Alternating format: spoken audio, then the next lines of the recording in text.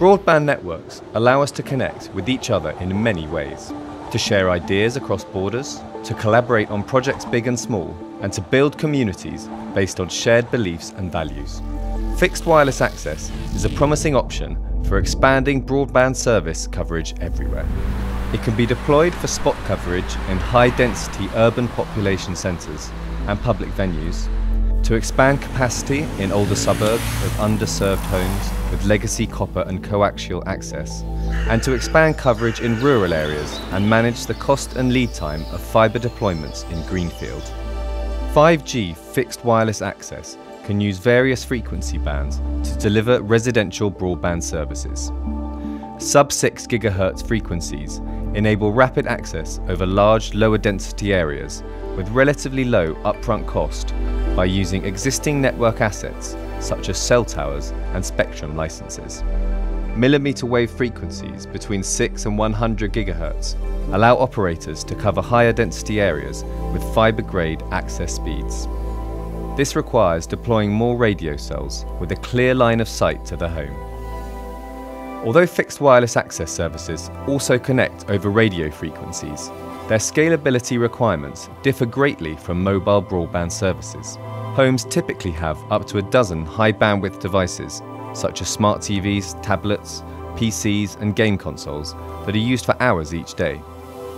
Home devices require no mobility, but their bandwidth requirements are over 20 times higher than mobile user devices and can easily exceed a terabyte per month. Because the service requirements are similar, it makes sense to leverage the same service routing platforms used by wireline broadband network gateways to scale the user plane functions of fixed wireless access gateways.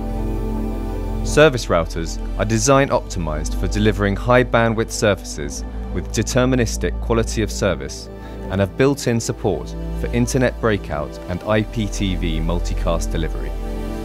Using the same underlying routing platforms also offers an easy convergence path for wireline and fixed wireless access. Scaling user traffic on Nokia service routers that are powered by the latest generation of FP5 packet processors consumes 5 to 7 times less energy per bit and 2 to 5 times less rack space than virtualized server appliances with general purpose CPUs.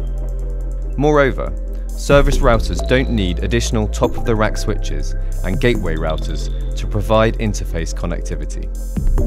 When delivering residential broadband over fixed wireless access, converged operators can either terminate user traffic on their existing mobile packet core or on their wireline broadband edge. Both options are technically possible, but the large volumes of fixed wireless access traffic will quickly exhaust the precious capacity of any mobile packet Converging fixed wireless and wireline broadband traffic gives better cost synergies and economies of scale for a better outcome.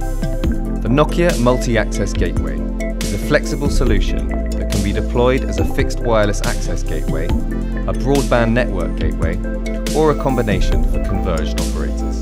Control user plane separation makes it possible to scale user plane functions efficiently and independently on service routers while control plane functions can scale on virtualized servers in data centers.